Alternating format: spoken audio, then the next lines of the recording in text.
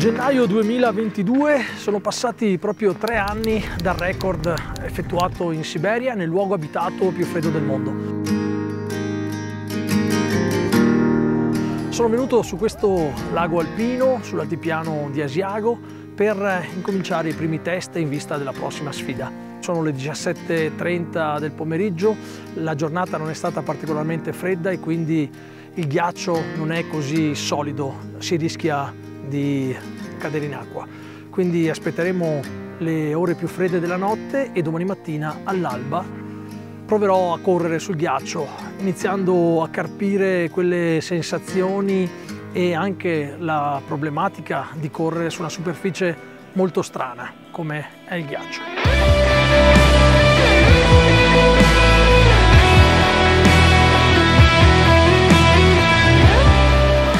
7.30 del mattino, temperatura dovremmo essere intorno ai meno 10, però è bello secco, non si sente. Speriamo che il ghiaccio sia consistente per fare questa prova, la prima in avvicinamento al grande lago Baikal.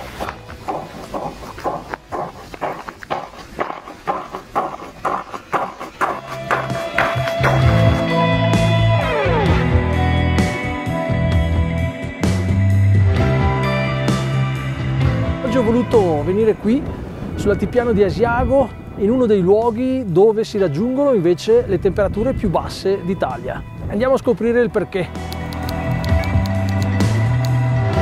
In queste doline si raggiungono le temperature più basse sicuramente del Veneto e tra le più basse d'Italia. Ma perché qui la temperatura siamo a 1200 metri circa d'altitudine, magari è più bassa che sulla cima della Marmolada, sulla cima del Monte Bianco?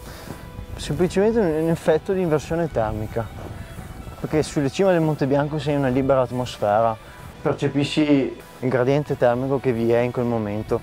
Qui invece si forma tutto per un effetto fisico, si accumula l'aria fredda, nel punto più alto che vedete là per esempio, la sella di outflow la chiamiamo noi. Lì è il punto dove si accumula tutto questo lago di aria fredda che circonda tutta questa zona qui. Cioè ogni metro che si scende nella buca si perde un grado, un grado e mezzo.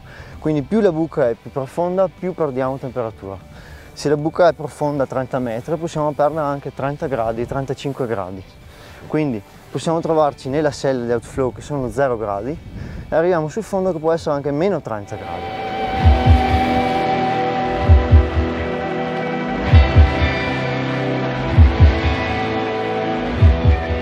Correre sul ghiaccio la superficie non è come quella che tutti possono pensare una pista di patinaggio liscia perfetta. Ci sono purtroppo delle creste delle piccole onde che si sono formate quando la superficie si è ghiacciata. Qui siamo in un piccolo lago immaginate però il mare Adriatico che si ghiaccia e quindi queste increspature diventano più evidenti ed è un grande problema correrci sopra perché ogni appoggio è instabile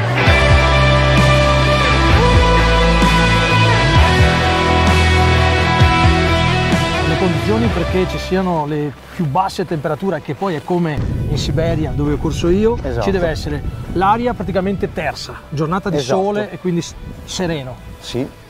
Non ci deve essere vento. Esattamente. Proprio perché c'è un ristagno esatto. dell'aria. E soprattutto un manto nevoso e una massa d'aria secca, povera di umidità che poi alla fine è quello che succede in Siberia dove appunto l'anticiclone siberiano crea questa cupola di alta pressione dove l'aria della stratosfera scende giù al suolo e stagna e si possono raggiungere le temperature record.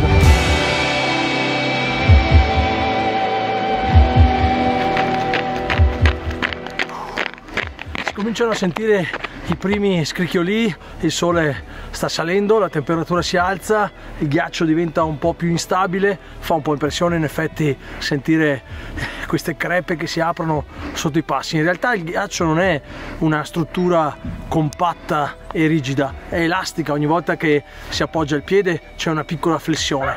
A seconda della, dello spessore del ghiaccio questa flessione è più o meno evidente. Qui il ghiaccio è abbastanza sottile e quindi si sente e si vede anche sul bordo quando spingendo con le gambe l'acqua comincia a muoversi. È il segnale di terminare l'allenamento.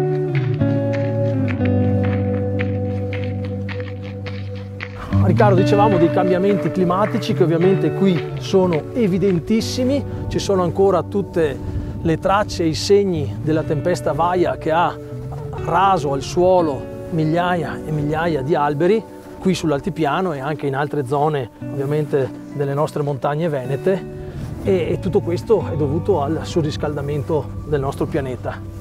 Vento fortissimo che si è originato nel mar Mediterraneo, si è scagliato sulle nostre montagne, sulle prime montagne fino ad arrivare alle Dolomiti e ha abbattuto 18 milioni di alberi, di cui un milione qui sul, sulle piane di Marcese, nell'altopiano di Asiago. No, è uno spettacolo veramente desolante, devastante, che fa, fa riflettere molto. Questo